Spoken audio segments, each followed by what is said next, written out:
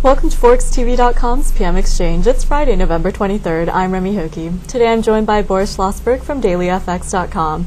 Boris will weigh in on the major currency pairs and crosses before we head into the weekend.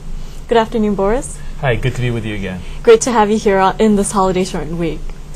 Well, as we um, near the weekend, we've seen uh, in the overnight session the dollar hit new record lows against the euro and the Swissy, and the yen also um, fell to uh, the yen uh, gained against the dollar and hit um, 108. But as we go into the weekend, if you could give us your levels um, for euro dollar as it is uh, getting closer to the 150 mark. Definitely. We actually had very interesting price action. We seem to be getting into this new tradition of high volatility during Thanksgiving weekend. Mm-hmm. Uh, basically, what happened last night was dollar Swiss came to within very close, for the last several days, came to within very close to the 110 level. And last night, traders in Hong Kong and Singapore decided to push it below the 110 level. Once they did that, there was absolutely no liquidity there at all, and the pair collapsed all the way down to 108.83. That in turn, of course, pulled Eurodollar all the way to within 150. But because all this was driven by stop hunting activity, it was really no fundamental data behind it. There was very, very little impetus behind that move. It reversed very quickly. And before the uh, morning trade in New York, we were pretty much at the same levels we started with in, in New York. Clearly, the euro dollar does want to go to 150. I think the overall speculative sentiment is so strong towards that level, it really wants to achieve it. However, it needs much more substantial economic data to really move towards that level. Euro dollar going to 150 is a function of more bearish U.S. news. And next week we have U.S. housing data, which is the key factor to determine whether the Fed is going to cut rates further or whether we're really going into a major serious economic funk. Should the housing data actually surprise to the upside, there's quite a lot of potential that the euro dollar could pull back. But if we do have worse than expected housing data, then it's very possible euro dollar will go to 150 by next week simply on that momentum alone. Well, now that we've taken a look at euro dollar, uh, let's move on to the dollar against the Japanese yen. Um, on Monday, both the U.S. markets as well as the Japanese markets will come back from uh, their holiday. But um, we'll be keeping an eye on global equities as well as risk aversion. So, going into Monday's session, uh, what ranges do you expect to see for dollar yen? Yeah, dollar yen now has broken below the 110 and broken below the 108 and some of the longer term traders are really targeting 100 as a possible intermediate term level, intermediate term goal. But we think that's quite far away um, at this point. Yen has been a major beneficiary, yen rather, has been a major beneficiary of risk aversion, and as equity markets have pulled back, so has dollar yen. But one very interesting thing has happened since then. It really hasn't rallied whenever equity markets have rallied, when risk appetite has come back. If you notice today, for example, Dow is up 181 points and yen is barely up. And the reason for that is because, again, it has to do with interest rate differentials. The market now expects U.S. rates to come down even further. And as the interest rate differential compresses between the dollar and the yen, it is far less vulnerable to carry trade flows than it used to be. So it still keeps going down when we have risk liquidation, but doesn't necessarily go up now as we as we get risk assumption. And it's quite likely that next week we may test the 107 level if we get a little bit more of risk uh, risk aversion coming back into the market. Well, Boris, you just mentioned uh, rate differentials, so that brings me to the topic of the British currency. Um, so let's move on to um, the sterling against the dollar as well as the euro. So um, we've been seeing overbought technicals for um, euro sterling, and um, following the BOE inflation report, there has been talk about a rate cut from the Bank of England. So if you could give us your um, forecast for the sterling against the dollar as well as the euro. Yeah, euro sterling is at four year highs at 7,200, and it's very much a direct result of the fact that almost everyone in the market feels there's a very, very high probability BOE will cut mm-hmm. rates. Well, of course, ECB is at very worst expected to stay stationary, perhaps even raise rates in the Q1 of 208. Um, and the story this week really got confirmed because we had BOE minutes come out mm-hmm. that sort of basically essentially gave an inkling to the market that the BOE may be willing and ready to cut rates come December. Should that happen, I think we could see even higher levels in euro pound, perhaps even to 72.50. But clearly, it's getting tremendously overbought at this level. Should it correct, it's really going to be a function more of euro coming back down and perhaps pound you know remaining stationary rather than um, the pound rallying higher. The pound mm-hmm. is pretty much done with this with this move, and there's very very strong potential. We actually feel there's a strong potential that will go back to the two handle eventually before it it, reach, it has a much higher chance of going to the two handle rather than going to a 210 again as it did before. And um, I want to touch on the higher yielding currency of the Australian dollar. We've seen that pull back against the yen this week. And um, in terms of uh, event risk and events going on this weekend in Australia, we do have the federal elections. So in the coming session, um, what levels do you see for the Aussie dollar against the yen as well as the U.S. currency? Well, you know, generally when we have elections, currencies come under under a lot of pressure because of political uncertainty.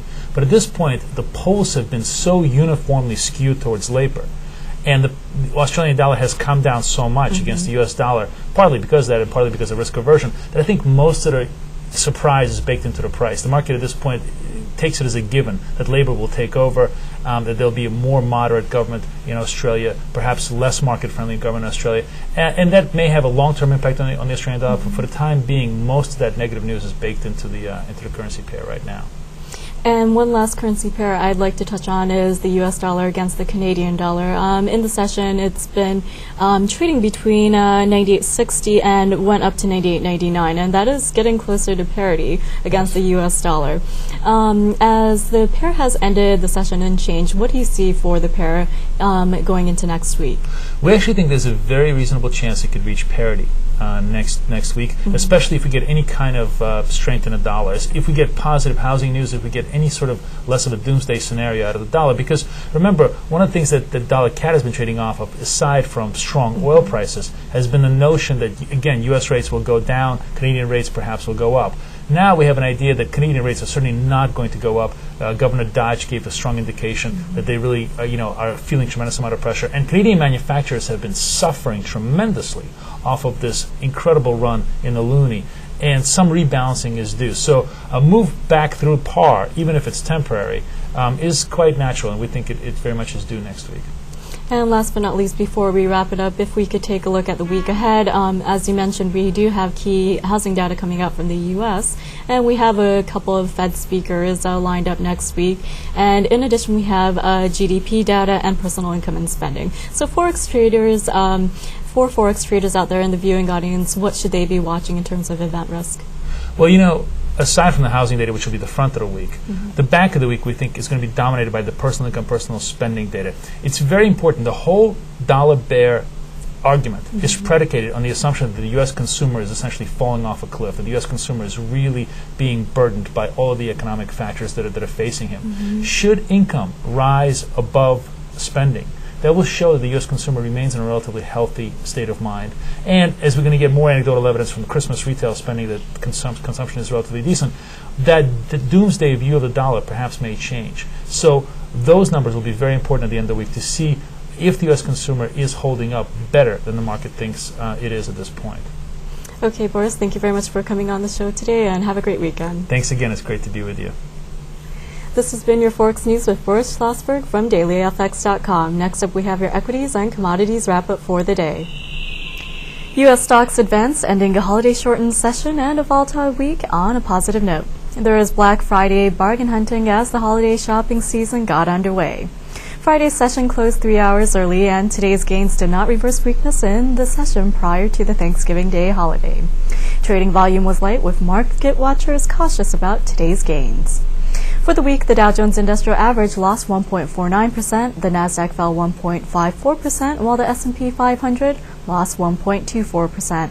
For the session, the Dow added 181.84 points, or 1.42%, to close at 12,980.99. The tech-heavy Nasdaq rose 34.45 or 1.34% to end at 2,596.60, and the S&P 500 advanced 23.93 or 1.69% to close at 1,440.70. In the fixed income market, Treasury bond prices were up on the day. The yield on the 10-year U.S. Treasury bond fell to 4.012% from 4.024% on Wednesday. Meanwhile, the 30-year bond fell to 4.438% from 4.467% on Wednesday. And in energy, crude oil futures pared losses seen earlier in the day and ended up at a record high above $98 a barrel. In thin trading conditions, crude oil for January delivery gained 89 cents to close at $98.18 a barrel on the NYMEX. The contract hit a low of $96.55 earlier and a high of $98.45 in electronic trading. For the week, crude oil gained $4.34 a barrel or 4.4%. And in other petroleum products, December RBOB gasoline added 2.99 cents to $2.467 a gallon. December heating oil closed up by 1.68 cents to $2.70.42 a gallon. Heating oil hit a new high of $2.7181 earlier, and December natural gas rose 15 cents to close at $7.70 per million BTU. And in the metals complex, gold futures rallied, ending up by $26 an ounce. In a shortened trading session, gold gained as the US dollar fell to a new record low against the euro. Meanwhile, other metals gained today with uh, December silver up 31.5 cents, closing at $14.735 an ounce. December copper was up 10.3 cents, closing at $2.991 an a pound. Meanwhile, January platinum added $15.80 to $1,483 an ounce, and December palladium gained $3.55 to close at 361.50 an ounce. This afternoon, we're joined by Dave Meger, Senior Metals Analyst at Alaron Trading. He'll recap today's session in metal prices and give us his short-term outlook. December gold futures today were uh, up once again, uh, currently trading at $822 an ounce up almost $24 on the day. Today's strength coming from new lows once again in the dollar index against major currencies as we're seeing new highs in the December euro currency contract. Obviously, as the dollar continues to weaken against major currencies, new strength and buying comes in to the gold market, driving prices higher. Uh, from last uh, week's or last two weeks, highs up around $850 an ounce. Uh, in continuation with the weaker dollar, there's been talk from the FOMC minutes that there could be further easing by the Fed. This type of mentality has kept pressure on the U.S. dollar and obviously strengthening gold prices in the weeks to come. Keep in mind, we did have a bit of a thin trading session today, so today's gain should be taken with a grain of salt. However, we believe that we are going to see gold prices moving higher in the weeks to come. So once again, December gold futures currently trading at $822.70 an ounce, up $24.10 on the day. That's Dave Meger with Alaron Trading. Have a great weekend. That was Dave Meger, Senior Metals Analyst at Alaron Trading with his commodities commentary. And that's it for today's edition of PM Exchange. I'm Remy Hokie. Join us Monday morning for your latest news update right here on ForexTV.com. Have a great weekend.